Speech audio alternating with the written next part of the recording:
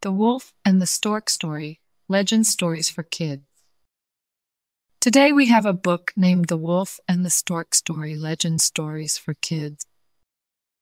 I think they're so pretty. I hope you guys really enjoy it. I love it. Please give this video a like if you enjoy it and don't forget to subscribe for more stories. Thank you, reading. So, here we go.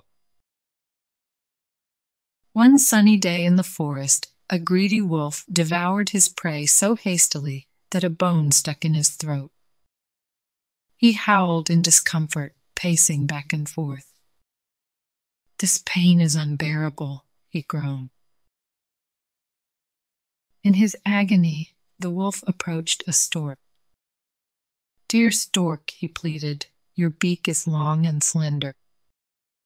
Could you reach down my throat and pull out this bone? I promise a handsome reward for your help. The stork, cautious but compassionate, agreed. All right, Wolf, I will help you. But remember your promise. Carefully, the stork extended her long beak into the wolf's throat and deftly removed the troublesome bone. The wolf felt instant relief and started to turn away. Wait, what about my reward? asked the stork, extending her wing to stop him. The wolf, now free from discomfort, sneered. You put your head in a wolf's mouth and lived to tell the tale. Isn't that reward enough? You should be grateful.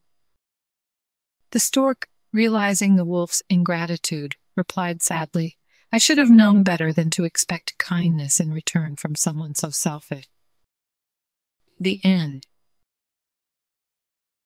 Good job, friends. Thank you so much for reading with me. Bye, I'll see you next time.